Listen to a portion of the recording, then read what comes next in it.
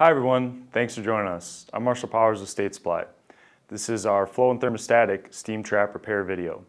One of our goals here at State Supply is to provide customers with training and education that pertains to our products and environments they're used in. We offer presentations, live hands-on training, and much more. So sit back, relax, and enjoy.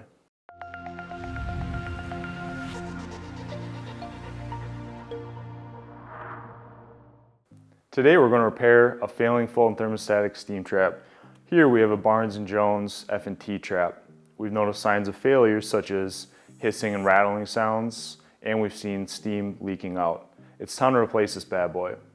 First off, I want to go over why you should repair a trap before replacing the entire thing. The biggest reason is you don't have to remove it from the line, which is a pain in the butt. The second is it's a lot cheaper, usually.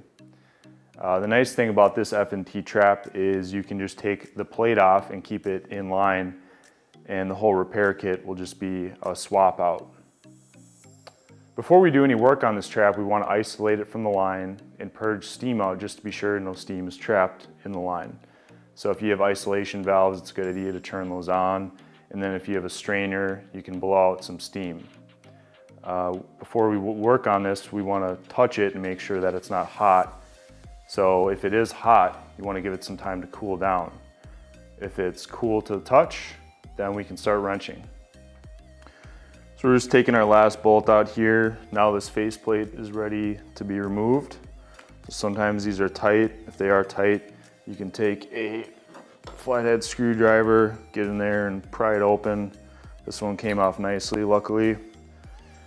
So we got our bolts set aside. So this is the unit that we're gonna replace here. And the beauty of this repair kit is you order it and it comes with the faceplate, it comes with the air vent, the, the float mechanism, and the valve gasket all ready assembled. So here's our replacement kit. You can see it's all nice, new and shiny. Before we slap that on though, we want to make sure to remove any remnants of the old gasket. You can see here that there's, there's some left that, that you need to get off. So you can either take a flathead or take a rag. In this case, I'm just going to try to chip this off, which is not clean. But you got to do what you got to do. Here you can see, took some time, but we finally got this faceplate nice and clean. Had to use a combination of a flathead, some sandpaper, and, an industrial rag to get, get all the gasket remnants released.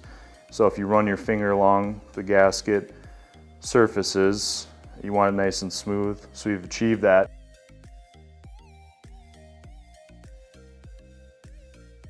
The next thing you might need to look out for if you're repairing this is if you have any lime scale built up inside the trap, you can either take a screwdriver, nail file, sandpaper, whatever you need to do to get it done to get some of that removed out because you don't want that to flush through your system.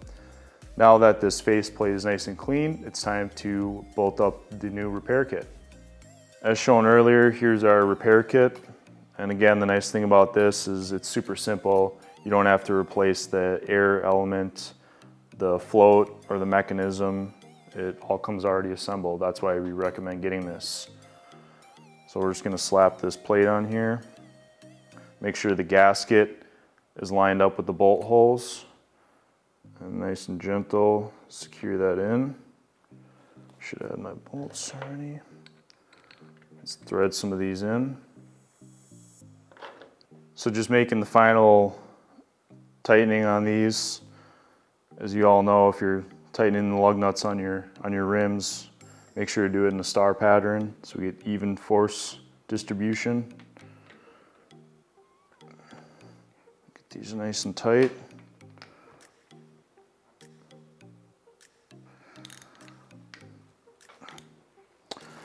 All right, we have the repair kit replaced. Now this trap is good to go. You just need to open up your valves and start the system up. Thanks for joining us. Until next time.